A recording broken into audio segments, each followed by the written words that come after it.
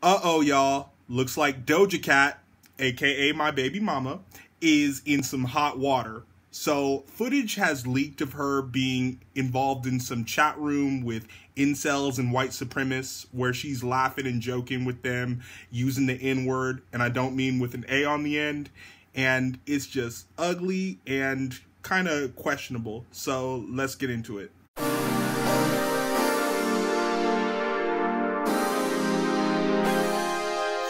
Doja Cat is a woman who is herself biracial. One of her parents is of African descent. Now, being that as it may, as a woman of color, if you're in a chat room with racists and white supremacists, there's something weird going on upstairs with her. So I think the first thing we gotta check is Doja Cat's mental state, first of all, because I personally enjoy her music, obviously, and I would hate for her to have this Kanye moment in front of everybody at a peak time in her career. Second thing is that we all recognize Doja Cat as a sex symbol. You know, she keep it juicy juicy. She eat that lunch. And she could be a woman that has many fetishes.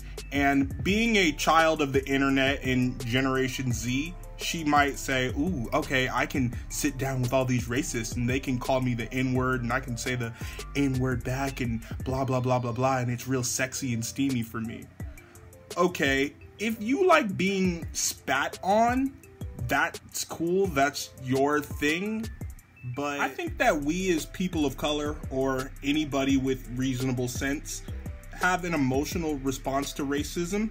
And when Doja Cat is sitting down with these guys, she has the opportunity to correct them, but instead she's engaging with them and indulging in this filth, which is the opposite of being part of the solution. But at the same time, she's kind of disarming a racist or a white supremacist because if she's haha and giggling with their racist jokes and their beliefs, then it takes the power out of it. See, I think there is a value if you sit down with someone who is racist or has different beliefs than you to understand, okay, where we can meet in the middle. And I know some of you think, oh, how could we ever like compromise with a racist or even so much as listen to them? Well, you have to just understand where a person is coming from, no matter what their beliefs are, and understand why their beliefs are that way, whether you agree with them or not. See, many of these people who belong to these incel chat rooms and identify as being an incel have a deeper mental health issue that we're not recognizing. And Doja Cat had the opportunity to hear these people out and offer aid to them to actually stop a problem and, you know, possibly counter racism in the process, but she didn't. She indulged in the filth with them. So that's where I question her for number one. But for number two, for you guys watching who are on Team Cancel Doja, I think cancel culture is the stupidest shit ever because it basically says, okay, a person can never make a mistake. You can never do the wrong thing if you're a public figure. And if you make one mistake, you're dead to me. The other thing is that Doja Cat tweeted, and I quote, I called a couple people faggots when I was in high school in 2015. Does this mean I don't deserve support? I've said faggot like roughly 15,000 times in my life. Does saying faggot mean you hate gay people? Do I hate gay people? I don't hate gay people.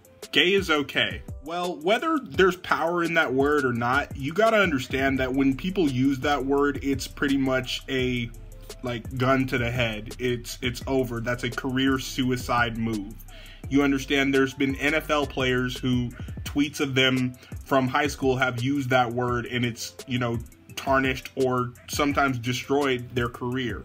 So before you say, oh, it's all right, I used that word when I was younger and I don't have any hate for gay people, you gotta understand, man. Tyler the Creator, who later came out as gay himself, got banned from entire countries from using that word. There's major consequences to using that word. So, closing argument is that Doja Cat had the opportunity to stop racism when she could have, and instead she engaged with it. And now, even as a woman of color, is looking like a self hating racist.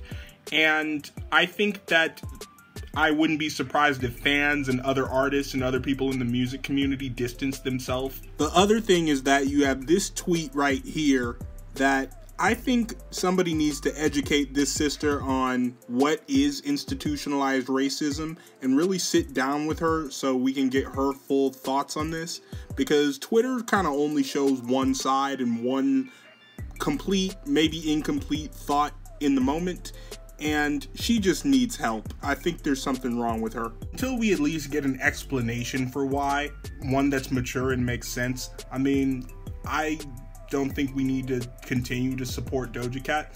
That doesn't mean she's canceled. There is a chance to redeem herself here, is what I'm saying. But uh, the other thing is that she said when her song with Nicki Minaj went number one, she would show her titties. We still ain't seen them nipples yet, Doja. So what's up? What'd you guys think? Leave a comment. Peace. Make sure you guys hit that like button and subscribe. I'm an underground warrior out here and I got a lot more content on the way. Stick around.